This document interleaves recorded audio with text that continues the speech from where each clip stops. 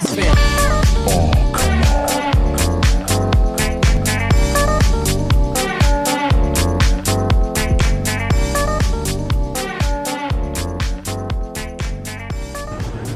Hi, how are you? My name is Willy Escobar and I've been a mortgage lender for the last 15 years. Today we're going to be talking about why it's important to refinance. So some people, for whatever reason, they like to hang on to their first loan for 30 years. Usually it's not a good idea unless you got the payment you wanted, the rate you wanted, and you don't have mortgage insurance.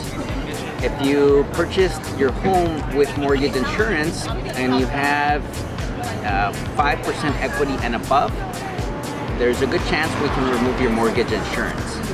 My name is Willy Escobar once again, and you can reach me at my office at 626 346 2230. I'll talk to you soon. Bye bye.